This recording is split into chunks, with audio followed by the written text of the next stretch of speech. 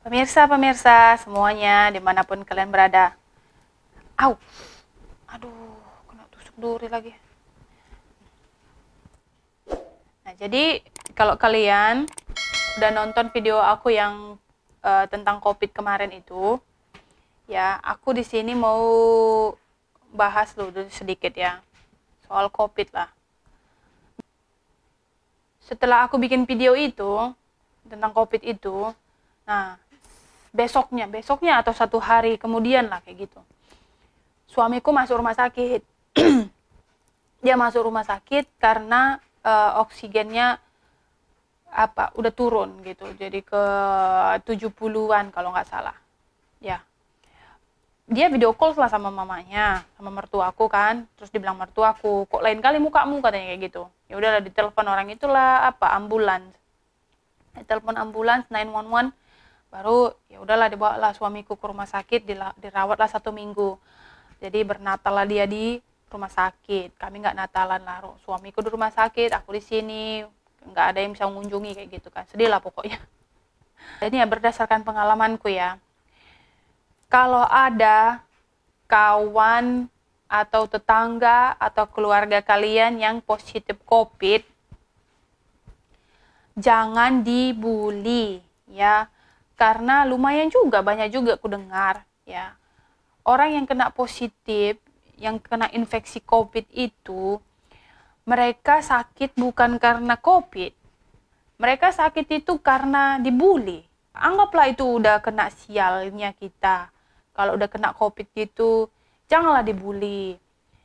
Di malah didukung dibantu kalau bisa. Kalau misalnya tetangga kita yang kena dibantu antarkan makanan. Karena kena virus ini aja udah cukup menderita gitu. Jangan lagi ditambahin beban mental. Karena memang betul sekali ya kayak aku kemarin itu sakit perbedaan aku sama suami gitu ya. Jadi suami aku itu selama sakit kena terinfeksi itu dia ngikutin semua apa yang di apa yang di internet itu gitu loh. Dia ikuti semua tahap-tahapnya. Kayak misalnya dalam waktu satu sampai tiga hari gejalanya ini nanti kayak gini sembuhnya nanti setelah satu minggu begini begini. Nah aku sehatku tergantung badanku kan? Sehat sama sakitku tergantung badanku bukan au aduh gimana? Aduh. Uh, karena covid ini kan yang enggaknya terlalu apa ya nggak banyak obatnya. Vitamin juga yang kita konsumsi obat paling obat demam kalau misalnya kita demam kayak gitu. Gak ada obat yang lain-lain cuma vitamin. Yang apa yang berarti itu tergantung imunitas kita. Jadi kalau misalnya kita stres kita depresi karena bulian gitu dirundung makin badan kita pun makin lemah. Imun kita makin lemah makin sakit gitu. Ya masih mending mereka nggak berkeliaran masih masih sadar diri mau apa ya mau karantina mandiri. Masih mending. Kalau sempat dia diam-diam aja sakit terus dia diam-diam aja nggak bilang kalau dia positif terus dia datang ke rumahmu kayak mana pula ya kan? Mampus kita kena positif semuanya. Aku sebagai orang yang sudah sembuh terinfeksi dan sudah sembuh dari covid mau kasih tahu kalau COVID itu nyata ya, guys. Tuh, aku nanti aku kasih tahu cara cara menyambal ala orang Medan ya, guys ya. Soalnya aku kemarin itu bulan yang kemarin itu uh, kirim ikan teri sama kawanku gitu di di luar state gitu. Katanya enak kali. Mengingatkannya pada itu pada calon mertua yang sundat katanya. Calon mertua yang nggak jadi mantan calon mertua katanya masakannya orang Medan. Kok enak kali gitu kayak mana cara masaknya? Jadi nanti ini aku kasih tahu rahasianya menyambal ikan teri ya orang Medan. Kalau sambal menyambal ikan teri serahkanlah sama orang Medan. Jangan ngaku orang Medan kalau nggak pandai nyambal teri Jadi kalau di Amerika itu ya, guys, bawang merah yang biasa dipakai itu yang kayak gini yang shallot punya. Dia besar. Jadi aku pakainya satu nanti dicampur sama red onion. Jadi bawang merah yang namanya red onion itu besar kayak gini. Nah kayak gini besarnya. Jadi nanti dicampur karena ini mahal. Dua biji kayak gini satu bungkus. Dua biji isinya dua harganya sekitar 3 dolar lebih jadi kayak sekarang 40 ribu kayak gitu. Jadi makanya aku campur. Nah, ini mau bikin mau nyambal ikan teri campur kacang ya. Kalau biasa uh, orang Medan kan biasa gitu. Kalau masa ikan teri campur kacang. Tapi itulah terinya nggak ada yang teri Medan soalnya mahal kalau mau beli teri yang kayak gitu. Ada sih di apa supermarket Korea ada tapi mahal. Terus halus-halus gitu. Kalau yang di Medan kan hmm, lumayan agak besar ya. Kalau yang di supermarket Korea lebih halus lagi. Nah, cabai keritingku nggak ada karena udah habis aku pakai. Jadi pakai cabai. Wih, besar-besar kan raksasa sama kayak itu. Sama kayak penduduknya di sini raksasa. Besar-besar. Dipotongin lah. Biar muat dipotongin tuh kecil-kecil. Pakai ini. The blender. Ada sih yang besar tapi aku malas nyucinya. Nanti biar aja pakai yang kecil ini deh. The blender sikit-sikit dulu jadi aku pakai dua tomat nanti satu ini belakangan. Ini di blender.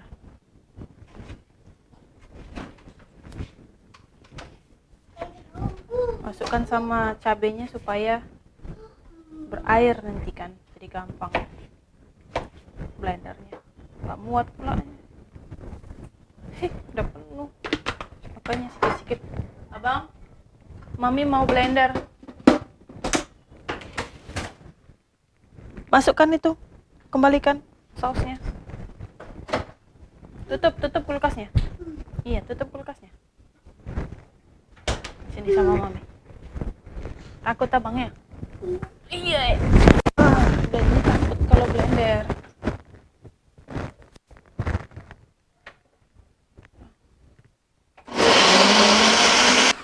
nah, turun dulu bang iya berputar spinning spinning spinning tambah lagi cabenya. Abang masuk lah mami mau blender lagi nanti nak. Bawang putih. Uh, bawang merah.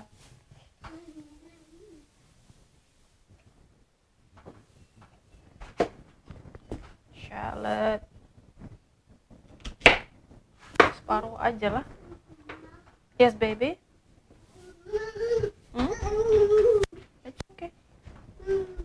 what do you want you scared Go to the living room. Go to the living room. Oh, you want mommy carry you? Yeah.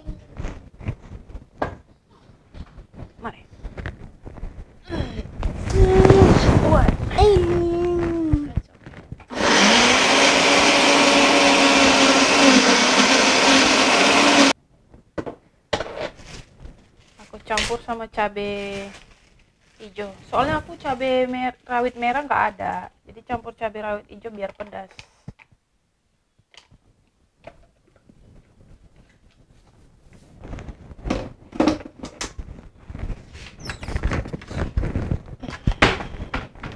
Masukkan minyak goreng.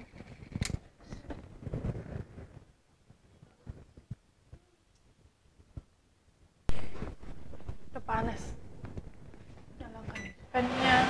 supaya nggak terlalu banyak asap. Harus sampai panas ya minyaknya. Jadi ini nanti kalau misalnya kebanyakan sebagian sambelnya bisa disimpan.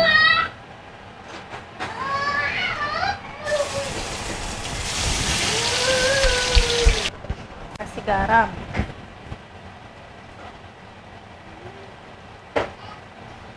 Garam nanti dirasa ya kalau kira-kira udah pas udah nggak usah tambahin lagi. Tapi ditunggu sampai matang sambalnya. Baru nah kalau nggak eh kalau gula itu opsional ya. Ada sebagian orang yang nggak mau pakai gula sambalnya nggak mau manis-manis.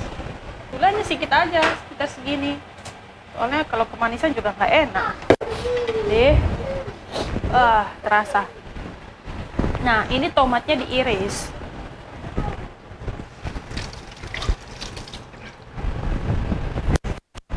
Ya. Tomatnya iris aja kecil-kecil kayak gini.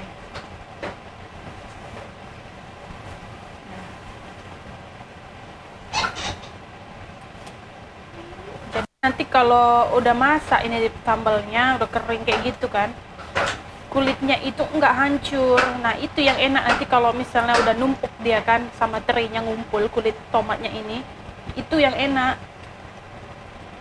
Jadi ini harus dimasak sampai betul-betul masak ya sampai sampai kering gitu supaya nggak cepat basi. Kalau udah kayak gini ya pemirsa ini udah sambalnya udah matang. Nah kalau udah matang matikan apinya biarin sampai dingin. Ya jangan panas-panas dimasukkan ikannya terinya jadi ini biarkan sampai dingin. Nah kalau kalian bisa lihat di sini ya. Ini kan nanti ada tomat-tomatnya. Nah kulit-kulit tomatnya itu. Nah itu yang enak kalau menurutku ya.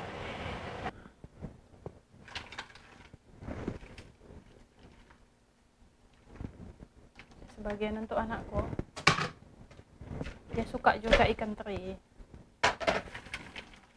kacangnya juga sedikit. Cipan. ini di barulah dicampur. Gitu ya guys ya pemirsa. Jadi nggak langsung yang panas-panas langsung dicampur gitu.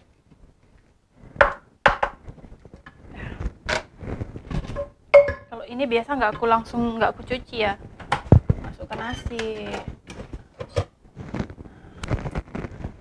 satu sendok nasi situ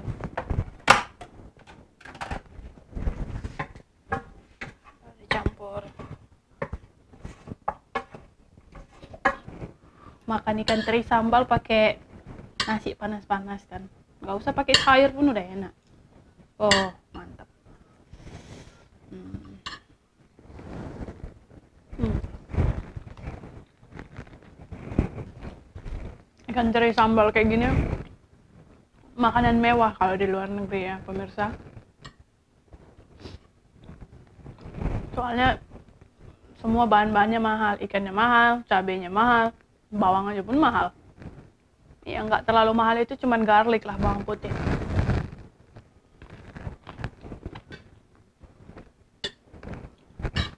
Kalau bawang di Amerika ini banyak kali jenisnya. Bawang kalau di Indonesia bawang merah, bawang putih, garlic itu kan, sama bawang bombay. Nah, kalau di Amerika jenis bawang bombay itu banyak. Ada sweet onion, yellow onion, white onion, apa lagi. Banyak lah macam-macamnya bawang bombay itu. Jadi kalau mau masak, jadi dulu pertama-pertama ke Amerika masih bingung aja lah ya atau kalau mau masak itu bingung pakai bawang bawang mana gitu tapi udah lama-lama barulah ngerti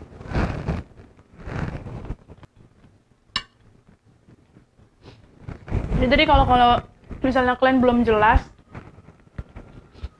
bahan-bahannya apa aja? Cabai merah. Terus aku campur sama cabai rawit ya biar pedas karena cabai merah di sini kan nggak begitu pedas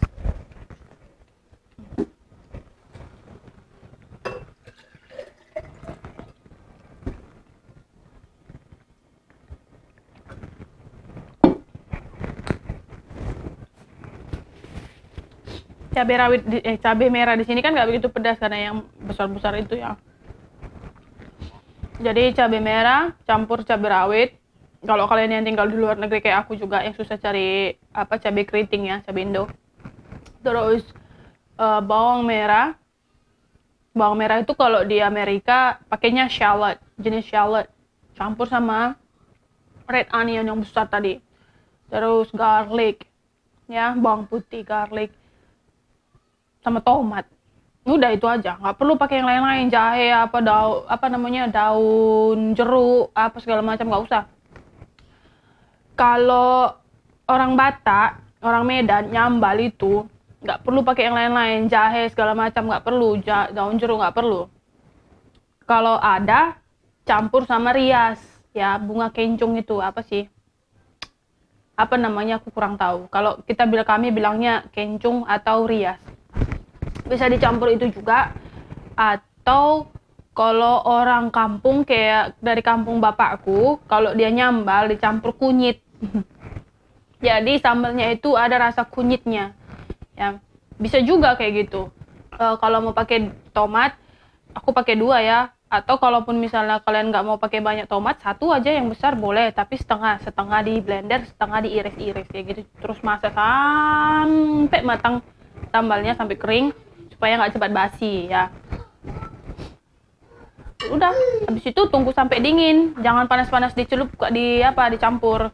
Tunggu sampai dingin baru dicampur diulek-ulek-ulek-ulek udah. Wah kalau itu rasanya. Ini sih bukannya resep dari mana-mana ya. Memang kayak gini lah cara masakku dari dulu ya. Biasa mama blade. Jadi ini sambal ala mama blade lah ya orang Medan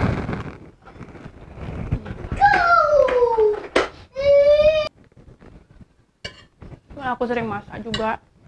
Dulu di kampung ya aku yang masak di rumah kayak gitu. Ya hmm, aku makan dulu